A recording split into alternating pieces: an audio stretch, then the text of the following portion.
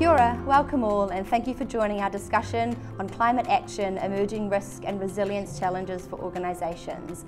I'm Alana Lathrop, the Chair of the Events Subcommittee for RIMS New Zealand and Pacific Islands.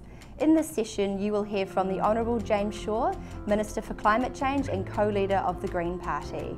Nigel Toms is the Acting Chief Financial Officer and Head of Risk and Resilience at Watercare. Nigel is the technical author of PAS 60518, developing and implementing enterprise risk and resilience management in utilities. Dr. Charles Ehart is Director of Sustainable Value at KPMG. Charles has 20 years experience working towards sustainable development and has spent the last 12 years focused on the challenges of mitigating and adapting to climate change. The session is moderated by Annabelle Chartres, who leads the National Sustainability and Climate Change Practice at PwC New Zealand Annabelle is driven by finding innovative business solutions to address sustainability and climate change challenges. This webinar was a reformat of an in-person event we had hoped to deliver on 3 March 2021. Unfortunately, a lockdown in Auckland prevented us from meeting in person.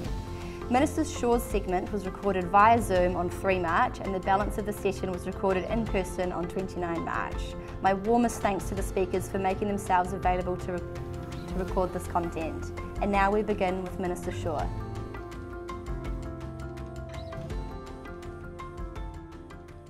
Tēnā koutou katoa, ngā kia koutou, and hello, uh, my name is James Shaw, I'm the Minister for Climate Change for Aotearoa, New Zealand. Um, in our last term of government, uh, as you'll know, we uh, decided that we were going to move to a system of uh, mandatory comply explain uh, reporting for climate-related risks uh, for large uh, listed companies and fund managers in Aotearoa, New Zealand. Um, and that we were going to uh, adopt the recommendations of the Task Force for Climate-Related Financial Disclosures that had been set up in 2015, launched in Paris at the Paris talks uh, that led to the Paris Agreement by Michael Bloomberg and Mark Carney, who was then the governor of the Bank of England. Um, now, the proposition uh, of the task force was really quite straightforward, uh, and that is that there are globally trillions of dollars of unquantified, undisclosed risk sitting on corporate balance sheets that directors and shareholders don't know about. Uh, and that that is material uh, both to those shareholders uh, and also uh, to the health and stability of the financial system itself. So their conclusion was that we uh, ought to globally start moving to a situation where um, companies are required to uh, both uh, investigate and report uh, and disclose on uh, on those risks. Now, here in Aotearoa, New Zealand, uh, at the time that the Productivity Commission was doing its 2018 report on the transition to a low carbon economy, the Insurance Council um, put forward a, a submission to them as part of that report uh, that said that actually, if you think about it, these risks, they are material, should already be being uh, disclosed uh, to directors, um, and yet they weren't. Um, and, and that's simply because there wasn't the kind of capability or awareness. And in their view uh, of the insurance uh, industry, uh, was that actually we do need to move to a, a, a compulsory regime in Aotearoa, New Zealand. Um, so uh, we adopted that recommendation, and uh, in early 2020, uh, cabinet signed off on uh, on the on the recommendations. Now, whilst New Zealand was the first country in the world to announce that it is going to be moving towards uh, mandatory uh, climate-related financial disclosures, it is actually under active consideration by something like 60 reserve banks around the world, and there are a number of other countries, I think, including the United Kingdom uh, who have said that they will also be moving towards uh, such a regime. So this isn't something that we're doing uniquely here, uh, although we are one of the first countries that's out of the blocks. Uh, and in so doing, I think that we have an opportunity uh, to not just develop a regime that works for New Zealand, um, but that can be used uh, as guidance for other countries that are moving in the same direction. Um, it was really important to us in, as we sort of decided what we were going to uh, do and what form it was going to take here in New Zealand, um, that we adopt the best practice international standard, uh, recognising that every economy has peculiarities that mean that a kind of an international standard might not be a perfect fit. But we felt really because capital is global and one of the chief uh, uh, reasons why we're doing this is to increase transparency for, uh, for shareholders and actually make it easier for uh, capital to um, be directed to areas which are you know, lower risk um, and, and so on, that we do adopt the international system. So uh, late last year, the uh, External Reporting Board, the XRB, um, picked up the torch of starting to develop what that standard would look like uh, for Aotearoa New Zealand. Um, and uh, this year, government is planning to introduce the legislation that actually uh, empowers this regime. Uh, and so we hope to have more to say about that in the coming months. Um, it is, I think, a very significant movement. Uh, one of the uh, journalists that follows climate change policy in New Zealand uh, at the end of last year when we announced this said that they thought that this was perhaps the single most significant climate policy that our government had introduced. Um, but of course, uh, because it relates to capital markets and, and shareholder transparency and so on, uh, that actually had kind of gone under the radar because that's not that's not a very retail um, uh, area area of policy. Um, but it is very, very significant in terms of where capital gets directed over the coming months, years, uh, and decades as we transition to a low carbon economy. So I'll leave it there uh, and uh, hand over to um, my co-host, uh, Annabelle Chartres. Thanks very much, James, and thanks for that introduction. Um, very, very insightful. Look, one of the things you, you said was that capital is global. You know, financial markets are by their nature international. So, how is the government going to ensure that our disclosure requirements are consistent with other countries' disclosure regimes? And I suppose linked to that, you know, what is the risk that New Zealand companies might face in being subject to these disclosures ahead of other countries. Could that impact our competitive advantage in any way? I'll start with the, the second part of that question. I, I, actually think that it will be a source of competitive advantage. So if you look at uh, leading fund managers, I mean, BlackRock are the kind of leading example where, uh, you know, colossal fund uh, operates globally uh, in virtually every market where there is a market, frankly, um, have, have been really clear um, that they see uh, climate related risk as their single highest priority above all other forms of risk, um, and that they want to be directing their uh, investments, obviously, to areas where they can, you know, guarantee a better return than other things. And so I think that having a disclosure regime in New Zealand early um, will actually uh, provide uh, access to capital um, that might otherwise uh, not, you know, because um, you know we'll have a transparency regime that other markets won't. It'll it'll encourage capital to move to uh, some of the companies that are uh, captured by our, our regime. The other thing is that I don't think first mover advantage. I was going to say potentially first mover advantage in that respect. I think so, and I, I think you know in New Zealand we um, you know, we, we are a globally minded uh, country, but I think that we kind of haven't quite realized quite how fast the world is moving. Uh, and so when you look at uh, some of the noises that are coming out of the international investment community uh, and the size of the green bond market, for example, and the rate at which that is that is growing, um, or even uh, kind of more active uh, funds like the um, the kind of social bonds uh, kind of concepts that are starting to become popular around the place, then I think, you know, we've been almost a bit naive about just how rapidly uh, and how significant that, that movement is. So having this regime here, I, I, think will actually give first mover advantage to, to our companies, but they won't have it for long. Uh, because like I said, I think the UK are only about 12 months behind us uh, in terms of their timeframes. Um, and you know, the, the power of London uh, in the financial markets is uh, that doesn't really need commenting on. Um, and in terms of the first part of your question, how how will we ensure that sort of compatibility? Well, we did have a debate when we were doing the policy formation around the regime whether we should try and develop a, a sort of a bespoke system for New Zealand um, that might, you know, um, kind of work more effectively for the size of our economy and the nature of our companies and so on. Um, but actually, we felt that uh, it was really important that we adopt the international, the emerging international standard. Um, and so uh, I think the XRB are very aware of that um, and will be tapping into uh, developments in, in other countries, including the sustainable finance strategy in the UK and so on, so that we start to develop a, a kind of a global standard. Right. Yeah.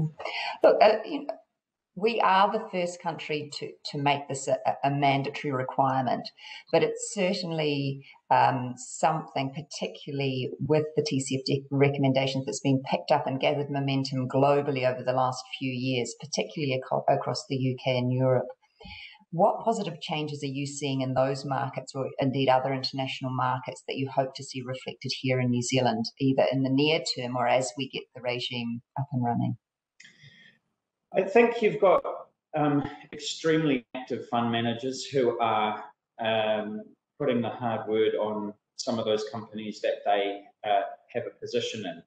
Um, and you know, there's always, I think, companies that are exposed to a, high level of risk, um, either stranded asset risk um, or or transition risk. I think are, are um, at, at, risk of a sort of a divestment campaign um, you know, I don't think we're quite there yet, but you do see uh, fund managers who are starting to say, look, we expect you to start thinking about how you're, uh, you know, uh, transitioning over to a different asset base. Um, and, uh, you know, you see a little bit of that here in Aotearoa, New Zealand. It's not huge yet, but there is a, there is a bit of that emerging.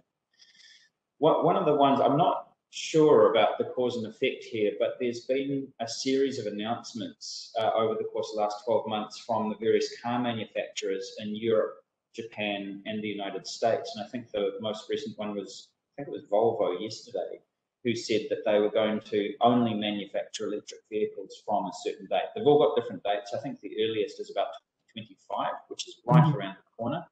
Um, I think General Motors said that they were only going to start uh, only going to manufacture EVs from, I think it was 2027. That announcement came out about a month ago, uh, shortly after the Biden administration took office uh, in the US. And given the extent to which the American car manufacturing industry is propped up by the US taxpayer, I suspect that there was a quiet word had in the background there. but um, I would imagine uh, that the um, the major uh, fund managers would have been having these conversations uh, with those companies and saying, look, you, you have a, um, a you know, significant risk here. Uh, you've got a number of countries who are saying you're not even going to be allowed to buy a internal combustion engine vehicle after a certain date. So, you know, the UK said after 2030, that's it. No, no more ICEs on uh, for sale. Um, you can still drive one around that you bought previously, but you won't be able to buy new ones. Um, and, and that obviously presents a, a, significant risk to any manufacturer of internal combustion engine vehicles, which is all of them, um, well, bar Tesla, a couple of others. And so I imagine that, you know, there is a journey that uh, those fund managers have gone through with those manufacturers to say, look, we need, we need you to kind of start switching your manufacturing processes pretty quickly um, because your customer base is about to dry out. Yeah, it will certainly uh, uh, be a wake up call, at least in, in this market and many others. And I suppose with that, um, you know, there's always a danger when change is being driven by policy or legislation that you, you have a compliance culture rather than true change in the market.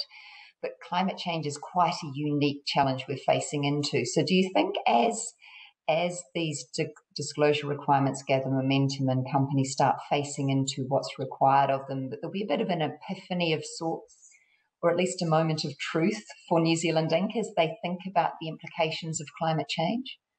Well, I think uh, so. There's one local example that I can think of recently, which is the ACC Fund, uh, which uh, last year, um, last year or even early this year, decided that they were going to uh, adopt a, uh, um, you know, climate risk strategy. They didn't have one at all previously. Uh, they'd sort of taken a legal compliance view. You know, if it's legal um, and high return, we'll invest in it. Um, uh, and I think that they, when there was a select committee inquiry um, that uh, they had to kind of front up to, Um, and so I think that partially motivated them. Uh, but uh, the chair did say um, that at the board level, they kind of hadn't really considered it as important, even though there had been repeated calls for them to um, either divest from fossil fuels or to adopt a, a risk-based strategy uh, on, on climate change. Uh, and then they started to get some of the data coming through um, from you know other funds and so on, and and they did say actually, you know what, we've probably put this off too too long. Um, there are things that we should have moved on earlier, and so um, they've now largely adopted the same strategy or a very similar strategy to the New Zealand Super Fund, which adopted it in 2016. So super fund's about five years ahead of, of the ACC fund. But it, it was interesting reading the interviews with ACC uh, when they announced that, um, that it did sound like there was a bit of an epiphany. It's one of those things where when you have knowledge, I mean, it's hard to have an epiphany unless you know what's going on, right?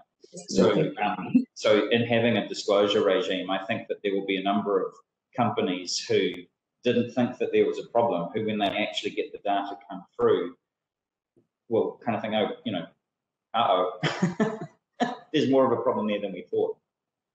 I think also in, in, in that respect, because climate change is so complex and there are so many risks to consider. And uh, what we tend to see is that an organization will take sort of a pretty one dimensional view to start with and consider one very obvious risk, not realizing that it's, it's, it's a much broader landscape that they need to be considering.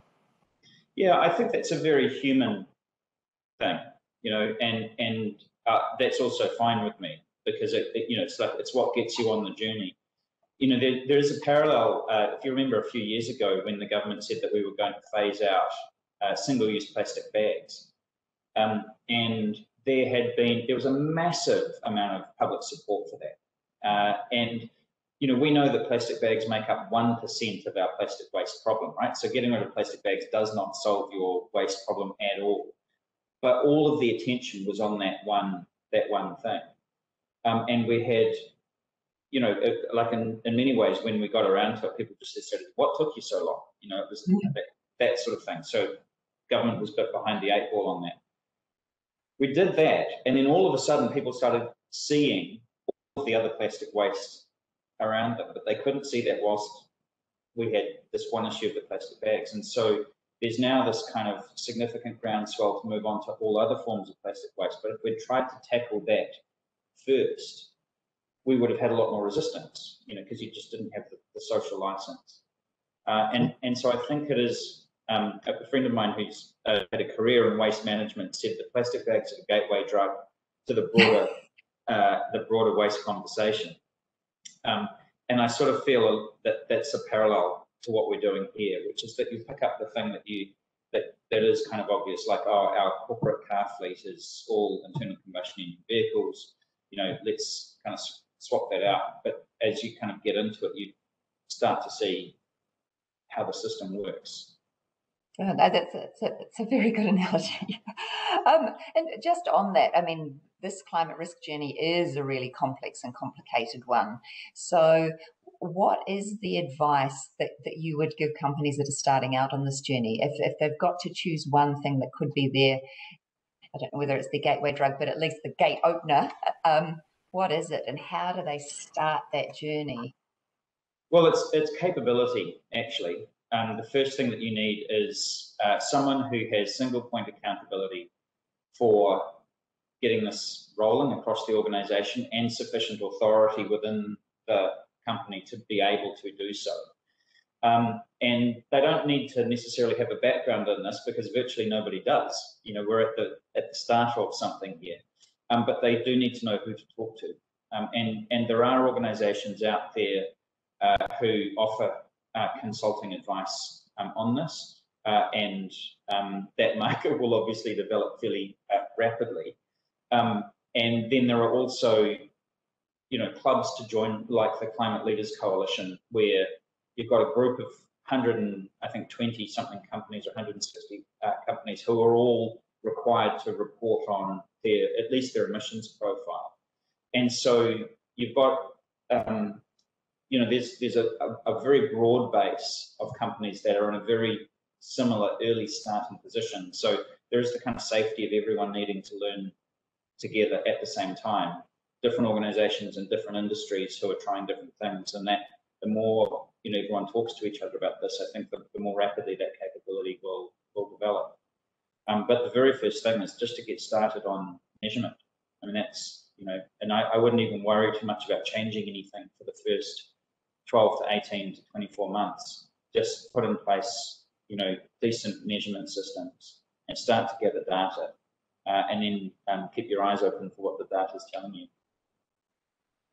Data is absolutely king um, with this. That's so true. Thank you very much for your insights.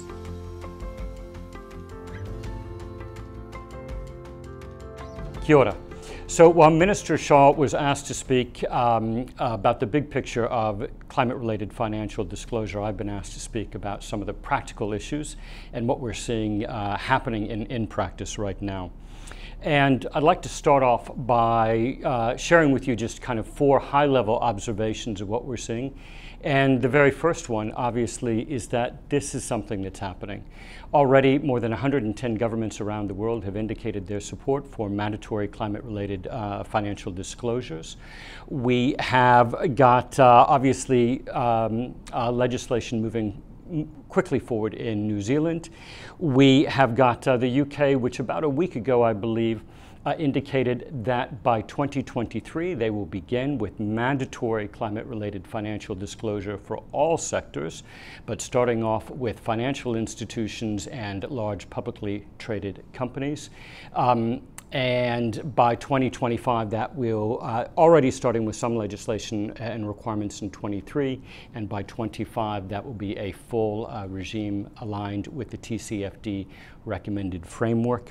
And last week in the United States, the Securities and Exchange Commission signaled their support for mandatory climate risk disclosure. So really, it's, it's not a matter of if this is going to be happening, but when and how.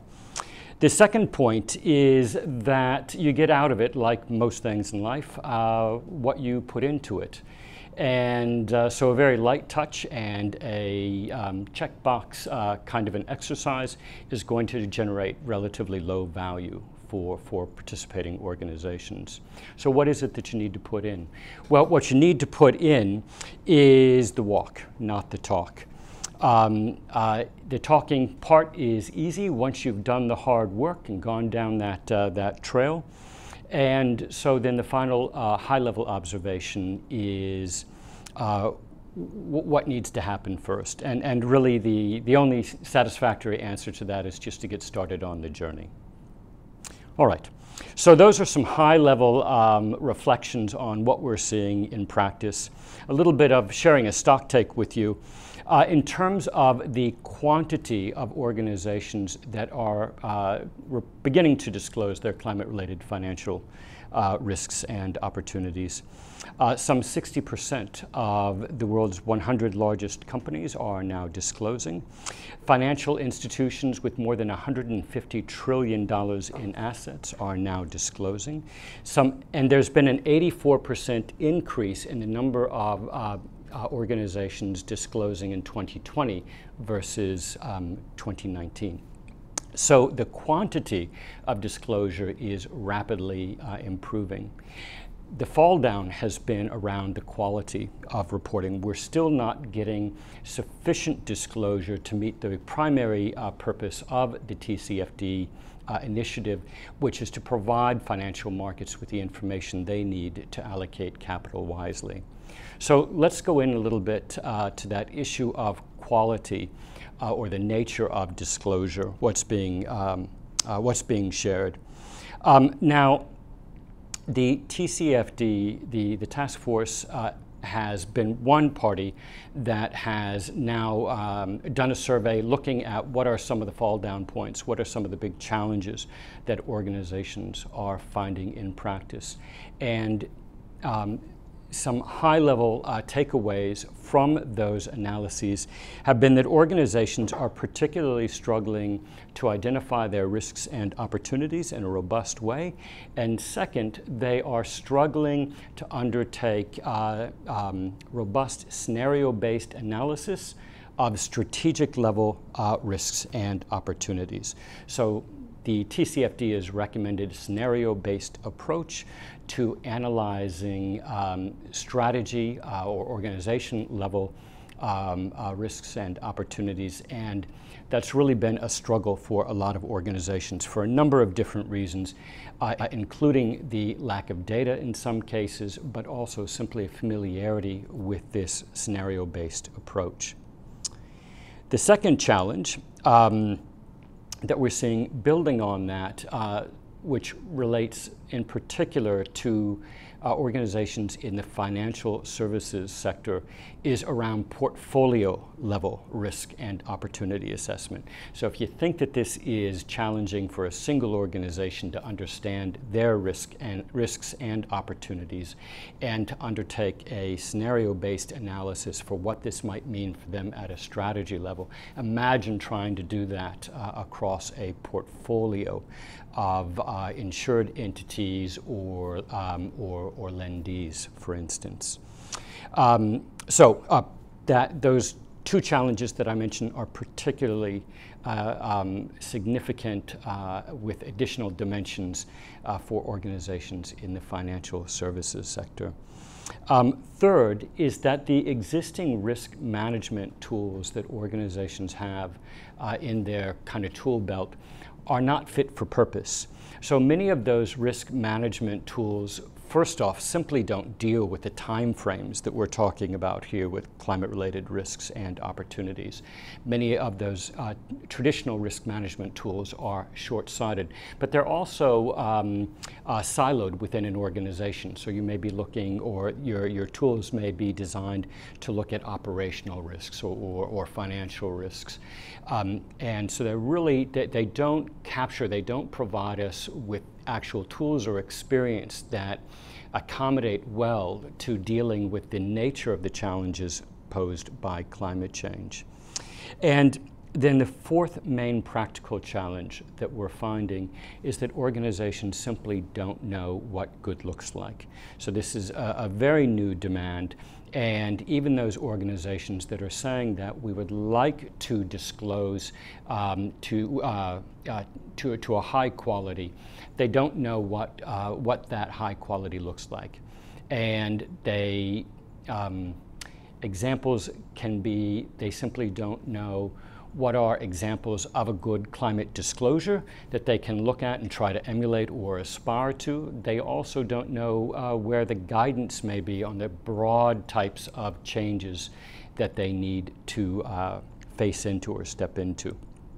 So those are the main practical challenges that we're seeing. Finally, um, I've been asked, well, what are some of the, the, the typical questions that clients uh, come up with? And the, the first question that uh, I, I think the, the most consistent question that we are asked is um, if we disclose or when we disclose our climate related risks and opportunities, should they be mainstreamed into our annual report or should we have a standalone document or should they be mainstreamed brought into our sustainable uh, or sustainability reporting uh, instruments? And the answer to that is that it doesn't matter. What does matter is that uh, wherever your climate related disclosures are placed, they need to be clear to serve that purpose of communicating to stakeholders what's going on. So certainly that means that they may be, or the climate uh, risk disclosures may be placed in any number of different papers. What doesn't work is if they are embedded and spread throughout these documents because they won't tell that coherent, uh, clear story uh, to, uh, to stakeholders, whether it's investors or, or others. The second question that we are frequently asked is, well, what do we do first? And I think that there are many different opinions about what is most important for organizations to tackle uh, right off the bat. For myself, based on the conversations that I've had with uh, reporting organizations or organizations that are gearing themselves up to report, to me, the most important thing is the governance. if you get, if the board and management team understands what's required and what's at stake, they will support other activities. If they don't understand that, then everything else becomes an uphill struggle, whether it's simply uh, gathering information, so measurement and monitoring, um, or if it is taking that in depth look at risks and opportunities. If they're not on board, everything else is going to be an uphill struggle, and the significance of each of those other activities will be undermined if the board and senior management team is not fully uh, supportive. Um, the third question that we are frequently asked is um, about whether risk uh, um, risk management processes should be mainstreamed, or if you need to have standalone, or if you should have standalone climate related risk management processes. It doesn't matter. If you've already got good risk management processes, by all means, they, your, your the way that you deal with climate risks can be mainstreamed. But this is an opportunity to think about whether or not existing risk management processes are sufficiently robust. Um, the final question that we are getting an increasing number of clients asking is how do we quantify our climate related risks and opportunities? The simple answer to that is nobody knows. Um, our, there are issues around the methodology, uh, first and foremost. How would you do that? Um, and then, even if you had a robust methodology for some risks or opportunities, there would still be many risks and opportunities that don't really lend themselves in the first place to clear quantification. And aside from that, another layer is that in the New Zealand market, we lack some of the data that other larger markets have. So that is yet another way, reason why quantifying risks are, uh, will be particularly challenging to us. That shouldn't, though, be seen as a barrier or an obstacle to moving forward. Simply get on with it. Methodologies, if they transpire, uh, will evolve in due course. But uh, in the meantime, what we can do through a uh, qualitative assessment of climate risks and opportunity, opportunities is to trigger the conversations that matter with the people that matter as soon as possible. Thank you.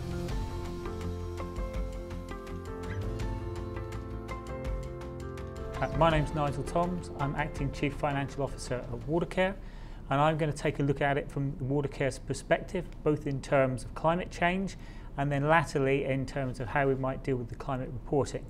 Uh, fundamental, however, is our requirement that the actual reporting drives benefit and action rather than preventing benefit and action.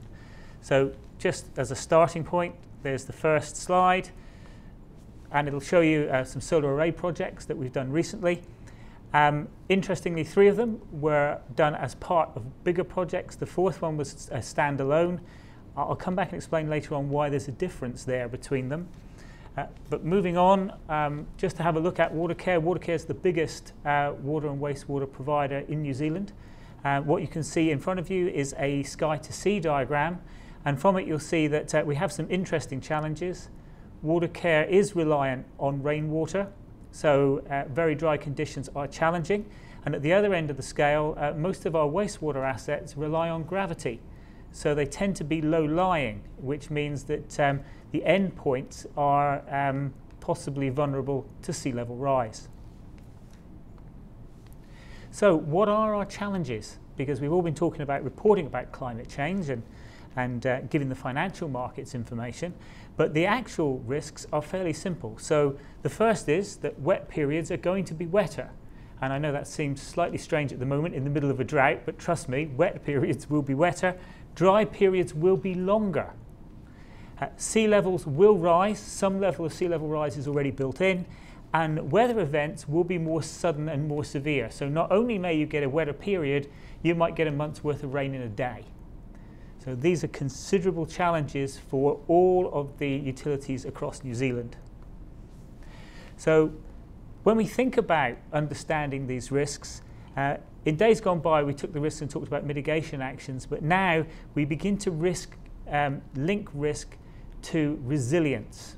Because what we're looking to do for the future is that we're intending to understand the risk and make ourselves more resilient over time. Um, what we're hoping to do is that we can actually resist and therefore whatever the situation is we can deal with it. But in reality there will be times when we have to uh, respond and recover because our systems no matter how robust we make them can't cope. It is worth pointing out however that resisting involves more infrastructure.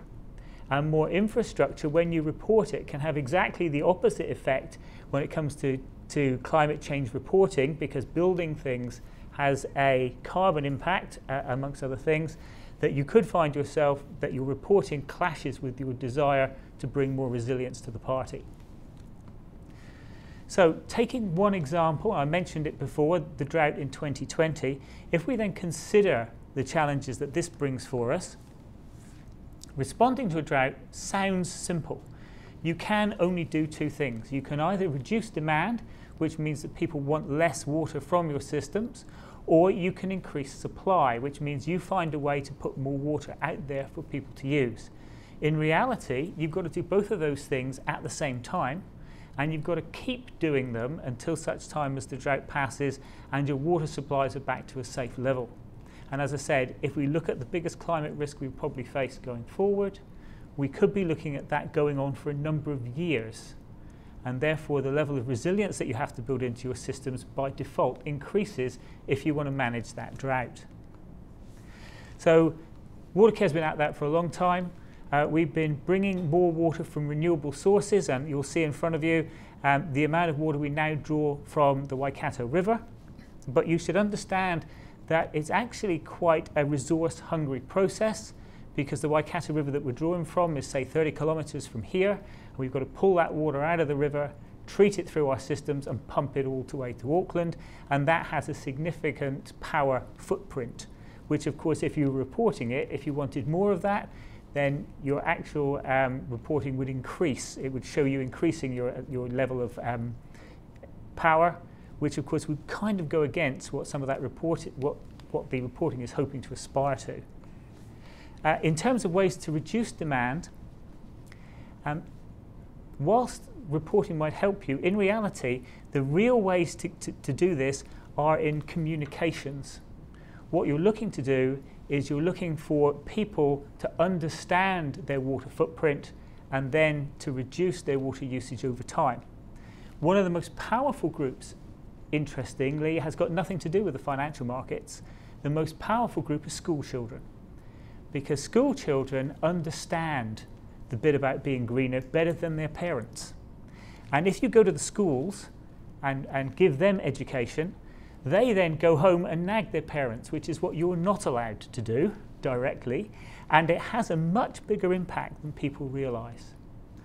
So this whole demand exercise has to go on, and communications, as you'll be aware, are not um, cheap to do and they have to continue, not just when the drought is on, but because you want people to make permanent changes to their behavior, you're going to have to make them continue that when the drought finishes. And no amount of financial disclosure will necessarily make any difference to the using public. So then we come to increasing supply. So increasing supply, for the most part, is really about building new sources and getting water from new renewable supplies. But then, if you do that, you have to understand that that means building uh, more treatment plants. It means building more pipe infrastructure to move that water around. And if you're using more water, you're going to have more wastewater, so you're going to have to treat that as well. Um, to give you an idea, uh, we had about 650 megalitres capacity. Um, in the last year, we brought, we, brought, we have brought on about another 110 megs, which, if, if you want to think about in scale terms, that's about two and a half times Tauranga. And that's the kind of increases that people will be looking at in future in order to manage drought and the challenges with water, especially as you're in Auckland, and this is 45% of the country's GDP in one place, running out of water and the impacts on business simply not accept acceptable going forwards.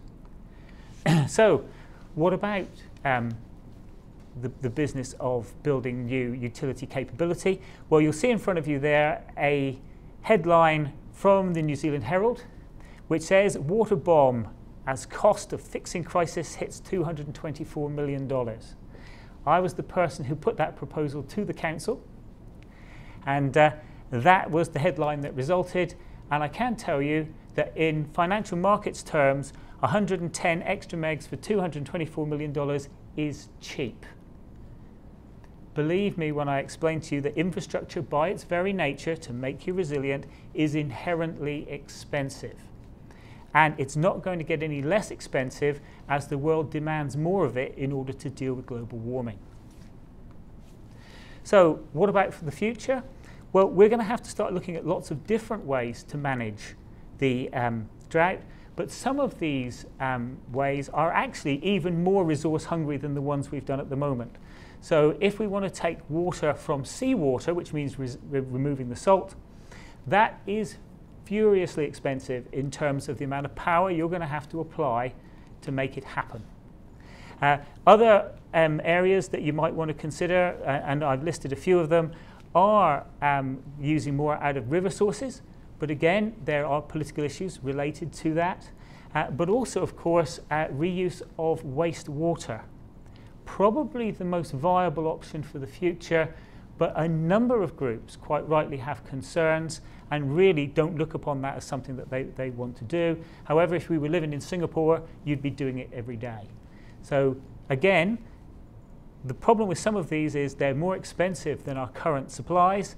And if we were reporting them, there'd be a concern that you're actually making yourself look worse as you did the right thing to improve your resilience going forward.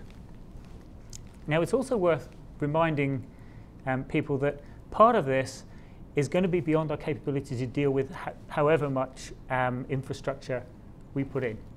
And the reason for that is that um, if you get a sudden or severe event, you're only going to be able to manage that with your people, processes, and systems. And this is about building adaptive capacity. It'll happen. You'll never have seen it before. You will have to manage it. It will undermine conf uh, confidence in markets if you can't. You will have to put people in place who have the wherewithal to bring groups together, to, to do things differently with your existing capability and manage that situation so that people can still get their water and wastewater services. So I'm not going to cover all of these in detail, but I would point out that there are some things that we could do which are fairly simple. Uh, one of them is that we don't use our networks. And even if we all reported the same way, none of us would pick up the phone and speak to our utilities around the country and actually ask for help unless we were forced to do so. And yet, seeking assistance is a strength, it's not a weakness. And the other thing is that as we go forward, the more standardization we've got, the more robust we become. So have, having everyone in the country with different componentry so that we can't swap it over is actually problematic. And it also makes it cheaper when it comes to purchasing it if that's the, if that's the position that you can adopt. so some of the thinking that I've been talking about is held within a piece of work that I did recently. So I was the technical author of PAS 60518, which is entitled um, Developing and Implementing Enterprise Risk and Resilience in Utilities. The um, diagram that I talked about, talking about linking risk and resilience, and all of the other work rests within that. And I think we're going to see more and more organisations taking this kind of approach, but having to weave through a minefield when it comes to the um, reporting of um, climate change in whatever form it comes to us, the difference between becoming more resilient and at the same time perhaps changing the carbon footprint the wrong way. So lastly, just, just to, to, finish off in, in terms of how we think about this, um, from a, an industry point of view, we don't want to make matters worse. So one of the things we do want to do is make sure we understand where the risks actually are. And climate change reporting will help with part of that, but part of that is within our own responsibility to make sure we understand what we're doing and where those vulnerabilities lay. Um, we should make those risk profiles visible now here, climate change reporting will help, but will it have enough granularity to inform investment decisions internally rather than just reporting in big picture terms to, to an outside group?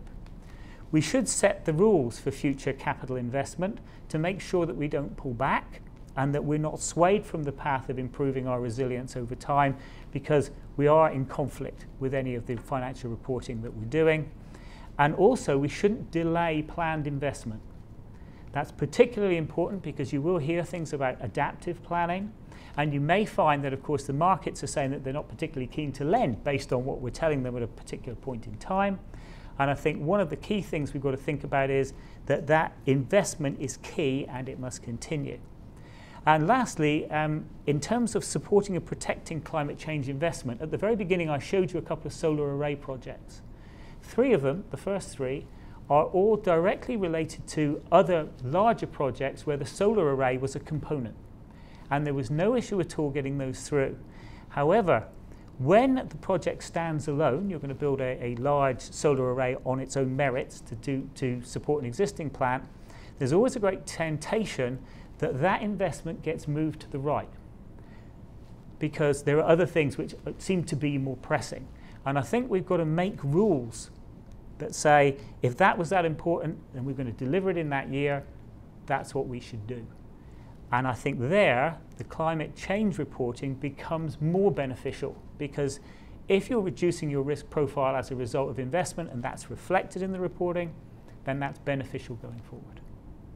So that's it from me. I'm always happy to talk to people and share ideas. Um, I've put my contact details. If you want to contact me, please do.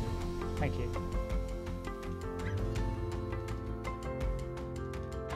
Charles and Nigel, thanks very much for the very insightful presentations. Really, really interesting to get your perspectives.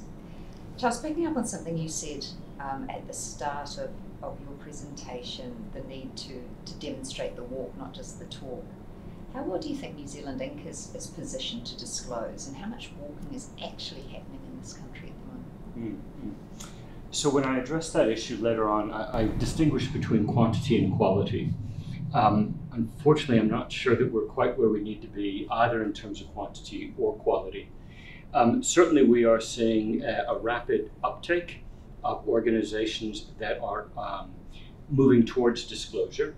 And, um, and, and that can be in two forms. And I think both at this stage in the game are equally valid.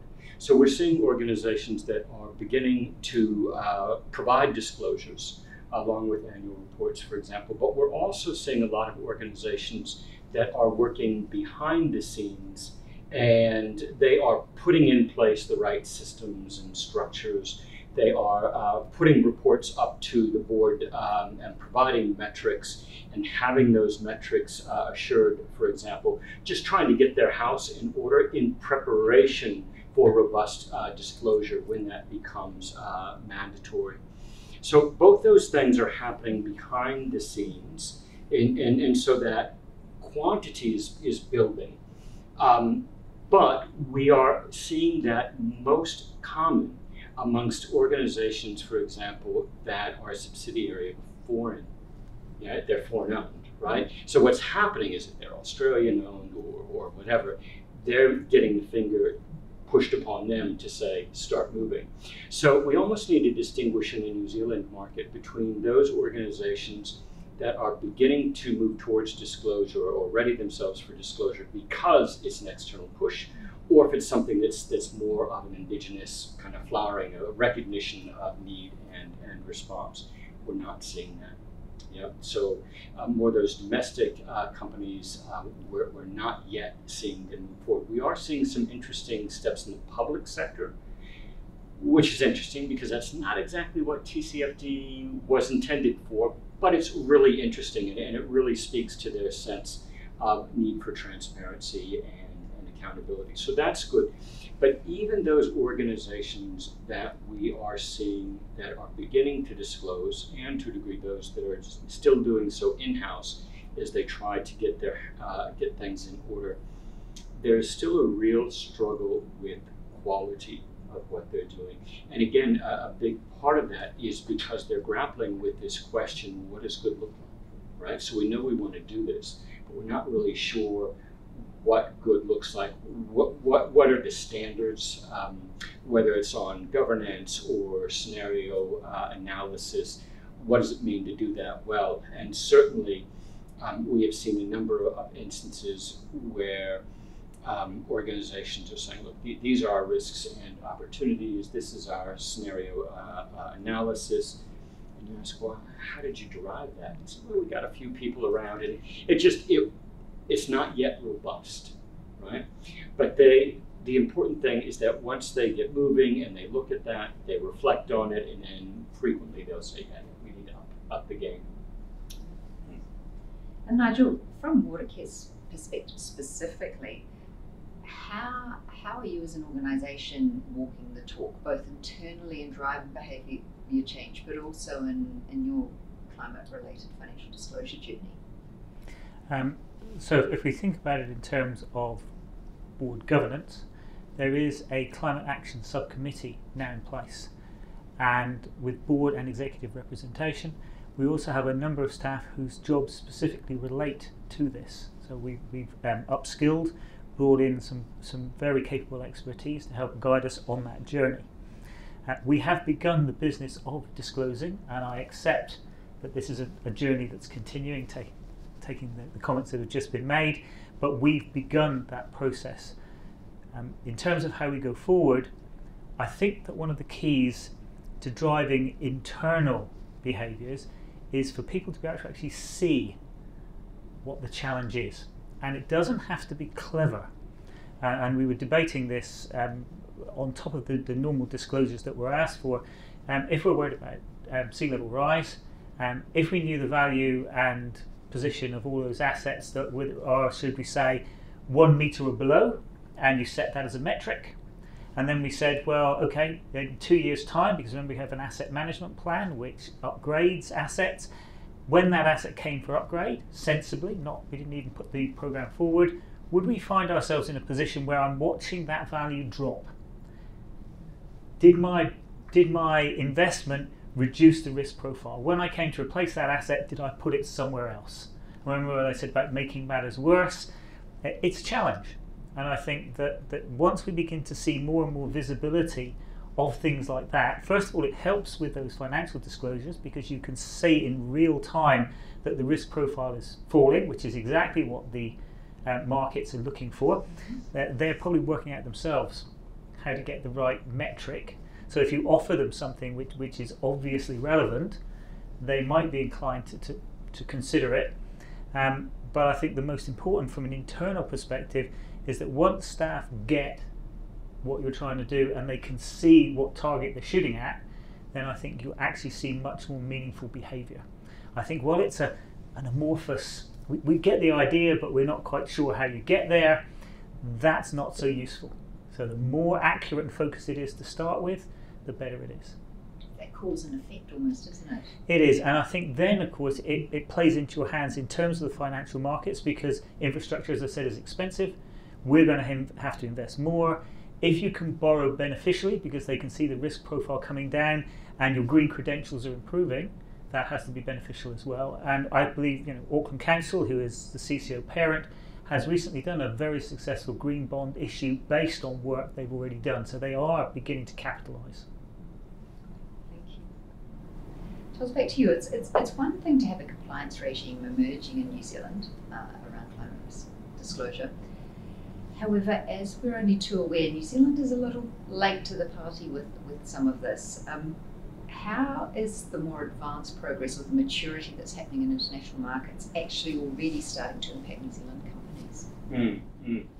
Um, great question. Well, we're, we're seeing this in a, in a, few different ways. And a, an example that really helps me put this in context is that while New Zealand is uh, quite forward thinking in terms of regulatory approach to this. Um, we've got other countries, well, let me put it this way Australia is behind us in terms of a coordinated at, at national level uh, um, uh, policy or position around climate risk disclosure. It doesn't matter. The markets are speaking very strongly in Australia, and we're seeing businesses respond to that in New Zealand, we've got the um, uh, regulations that are moving forward, and we're not seeing uh, we're not seeing the, the organizations, the market, the certainly not the uh, local companies that are keeping up. And the implication for them abroad is that it's making it, well, we're already seeing examples where it is either making it more difficult for them to access capital or is making them it, it more difficult for them to access less expensive capital, right? Either way, regardless of what happens with the timeline uh, for our regulatory framework and whether XRB, for instance, provides standards, what we're already seeing, beginning to see in the New Zealand market is that for us to be able to access relatively inexpensive international capital, we need to come to this party and we need to produce those high quality uh, reports. And, and basically, it's about telling the story to investors or potential lenders or insurers that we understand what our risks and opportunities are. We've got a plan for dealing with them, and we're executing that plan. That's that's what it all comes down to needing to do. And it, it might be worth adding that we could be forced to the table because the insurance market will insure what they look upon as good risk, and they're becoming increasingly nervous around um, various parts of climate change and what and risk those assets are exposed to. So whether we like it or not, when they say, well, we won't insure that anymore, mm-hmm. and put you in that position, you might have to start changing whether you like to or not. So you're right, you might as well get on with it. We are going to have to disclose, and the better the quality of that information and the more we understand, the better. Absolutely, and, and not just the insurers, the reinsurers. Yeah, I agree. Right. That, the wider market. Big, no, yeah. I agree. Uh, very good points. Nigel, just on that, that risk piece, what are some of the risks New Zealand faces if it actually doesn't permanently change its behaviour in terms of water use? Because New Zealand companies are going to have to start thinking about that and considering it in their um, their risk disclosure statements. Do you think they're sort of aware of what those risks are? Right, so it's, it's a very mixed economy. So Watercare works very closely um, with its commercial customers on a continuing basis, and, and the the, the reasons for that are twofold. First of all, because they're very big, powerful customers, uh, but, but more importantly, is they're big users. So when you want to save water in a drought, one of the key groups that you want to be locking in with and that you want to take action are those big commercial groups. So I think, um, based on our experience, they were incredibly helpful to us through the drought, and um, some of them have definitely taken action to lock in permanent savings for the future. Um, but it's not consistent across all industries, and it's certainly not consistent across the country because it really depends on where industries are based and, of course, what their access is to water. So I think the key going forward is the use of the stories and the benefits that we've gained to be spread to other um, organisations in similar industries. The problem with it, of course, is that it's a source of competitive advantage against other people in the same industry. So there is that. Um, on the one hand, it would be really good for New Zealand if we had a leading organisation that saves a lot of water by developing new practices. But at the same time, of course, that is the very thing that's giving them advantage in the market. Would they be willing to disclose it? And I think that obviously it's not for the water, the water companies to encourage and actively support those as they as they go forward and, and locking in those savings for the future that are permanent with changes in the way they process, changes in the way they use their water, but at the same time to try and encourage the spreading of the knowledge. And I think that, that as we go forward, that desire on, on the part of industry groups to work together is a very powerful um, lobby, but you've got to persuade them to, you know, if they've invested a lot of money in a new technique, that, that they're willing to share that with others. And, and I think that the water companies need to keep pressing to make sure that all of those commercial customers are on board. They understand the benefit for New Zealand, not just the benefit for themselves.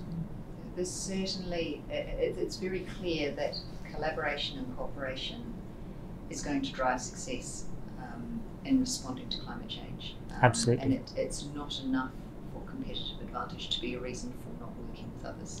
Absolutely, and, and going forward, I think that the water companies themselves, however, and you'll be aware that there's talk of water reform, but at the moment we're in the very early stages, so nobody's really sure where that's going to go.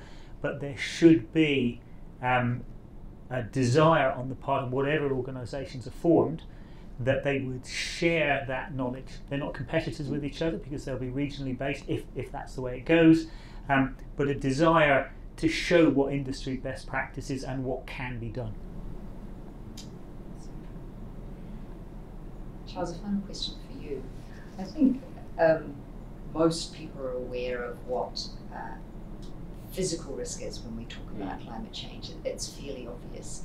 But there's also this category of transition risk that I think is a lot less obvious. And I know we've discussed before that we're, we're seeing a lot of clients who are just focusing on one risk category, and it tends to be that you know, the physical piece.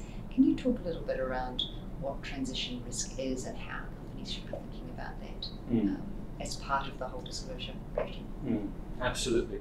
Um, look, and, and I think that um, to, what I can share is how the Task Force on Climate Related Financial Disclosure has spoken about transition risks and then kind of pull out some different ways of, of looking at it, complementary. Um, and so the, the Task Force on Climate Related Financial Disclosure distinguishes between those physical risks, things like sea level rise, rising temperatures, shifting rainfall patterns, and, well, frankly, a big, great big uh, category of everything else. So, as uh, those physical risks kick in, as uh, consumers become more concerned and start to prefer some pro uh, products and avoid other products, um, as certain technologies become less and less uh, valuable within a, uh, a, market or within economies that are transitioning to, to low emissions. Um, so you've got social license to operate, you've got uh, shifting consumer preferences and prejudices, you've got uh, risks of stranded assets, you've also got risks of being sued. You also have risks of a financial penalty from failing to comply with climate related regulations, and then all of this as well um, uh, related to capital, right? So if you are not seen as an organization that understands your risks and has got a plan for dealing with them, you may still be able to access capital, but you'll do so under uh, less preferable terms, right? So all of these things can be considered transition-related risks. Um, but we find it helpful to actually disaggregate that further um, into uh, legal risks and capital risks and well, kind of that remaining pool of, of transition risks. And the reason that we do that is that we believe that there are some kinds of risks that simply need to be managed, right? Like sea level rise or um, uh, uh, being uh, um, uh, uh, cost of falling foul of regulatory requirements. Just don't do it or just start investing. yeah. Um, but there are other risks that through ambitious early action, you can actually flip them into opportunities. So you can actually increase your social license to operate through early action. You can become a product or a service or a business that investors want to put money behind through showing that you're ahead of the game, distinguishing yourself in the market. Um, so that's the distinction between uh, physical and transition risks and why we are, you know, that, that's that those transition risks, that is the landscape to explore and to find those opportunities, which are definitely out there. Thank you. Yeah, and it's certainly why the, the task force refers to these as both risks and opportunities as well. There are both.